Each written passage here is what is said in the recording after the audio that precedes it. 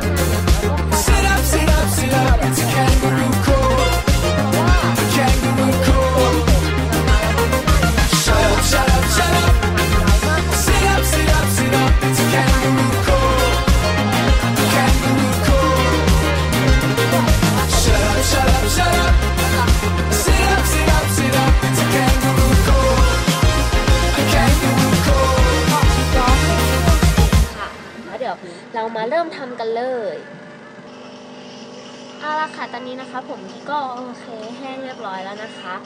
แล้วก็ต่อไปเนี่ยก็จะมาทำการทำผมเลย แต่วันนี้นะคะขอมา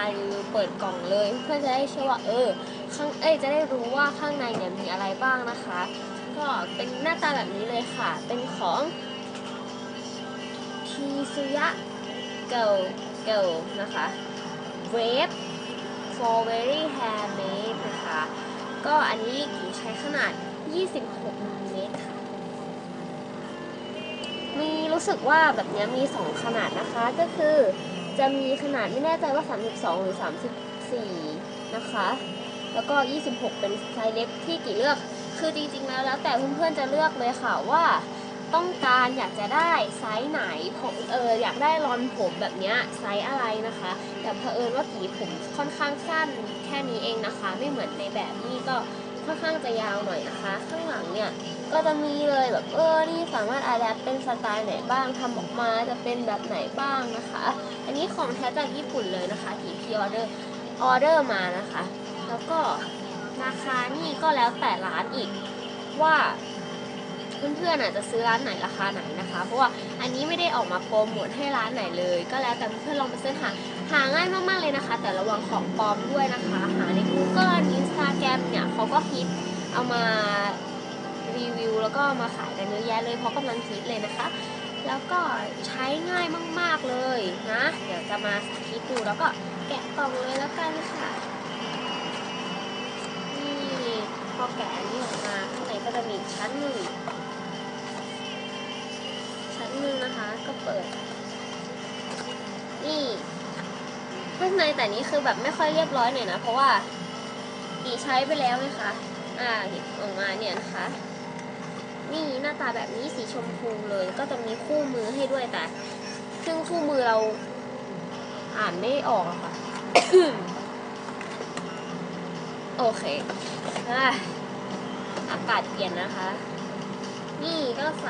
เป็นปลั๊กหัวธรรมดาแบบนี้เลยสีขาวสายสีขาวนะคะ แล้วก็อันนี้เนี่ยไม่ต้องตกใจบางคนซื้อมาเปิดแล้วแบบเฮ้ยทำไมเปิดไม่ออกมันล็อกอยู่นะคะเพื่อนๆนะคะนี่ค่ะ ตรงนี้ค่ะเป็นแกนล็อกนะคะแค่เลื่อนลงนี่มันก็จะอ้าชึบออกเลยนะคะก็ง่ายมากๆ แต่คือกี่ศึกษาได้แบบไม่ค่อยดีอะไรสักเท่าไหร่หรอกคืออาศัยว่าแบบเออลองดูนะคะ แต่เวลากี่ทำกี่คือไม่แน่ใจว่า เออเดี๋ยวขอเสียบปลั๊กไว้ก่อนเลยแล้วกันนะคะโอเคแต่ว่าก็ระวังนิดนึงเพราะว่ามันก็ค่อนข้างร้อนนะคะ พวกเครื่องหนีผมอะไรพวกนี้ก็พยายามหาผ้ามาลองหน่อยแล้วกันค่ะอะโอเคกี้ก็จะไอ้นี่เลย เสียบปลั๊กเลยนะคะ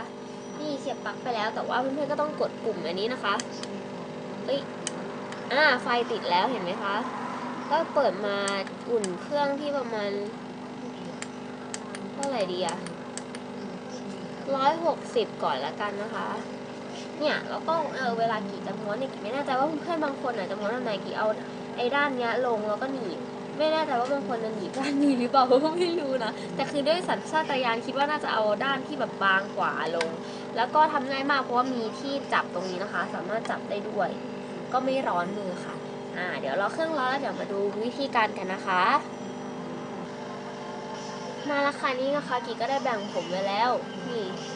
สองข้างค่อยๆทำทีละข้างเลยนะคะ อันนี้เดี๋ยวขอสาธิตนิดนึงละกัน ถ้าทำทั้งหัวคงใช้เวลานาน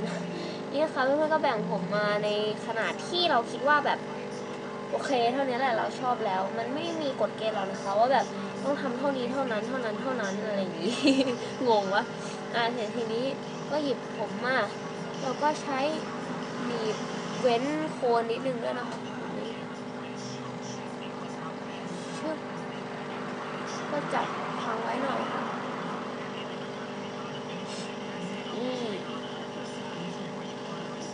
สักพักอะค่ะแล้วก็ออก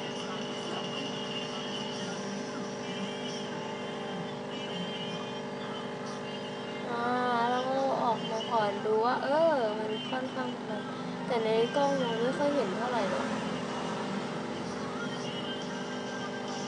ก็ตรงปลายด้วยค่ะ นี่ประมาณนี้วิธีการประมาณนี้นะคะ เดี๋ยวจะคลิปนานไปหน่อย เดี๋ยวเรามาดูกันตอนใกล้จะเสร็จแล้วกันนะคะ มาแล้วค่ะ นี่ก็อ่าเป็นช่อสองอันสุดท้ายหรืออันสุดท้ายแล้วนะคะ นี่ ก็เป็นประมาณนี้ อันนี้คือยังไม่คลายให้มันคลายออกสักเท่าไหร่นะคะนี่เราก็แบบ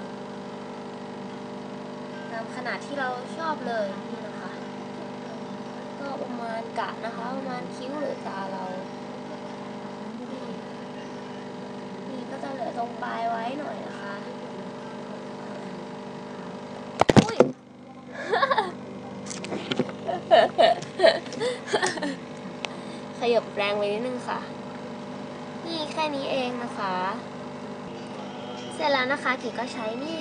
เป็นเอ่อเซตผมของลิเซ่นะคะ มีหลายแบบมากเลยแล้วแต่สภาพผมแล้วก็ทรงที่เพื่อนๆอยากได้นะคะ แล้วก็มาพยายามพยายามยกโคนด้วยนิดนึงนะคะสำหรับรุ่นนี้มีหลายสีมาก ก็ได้ประมาณนี้ค่ะหวังว่าเพื่อนๆคงจะชอบแล้วก็ทำตามได้นะคะ ไปแล้วค่ะบ๊ายบาย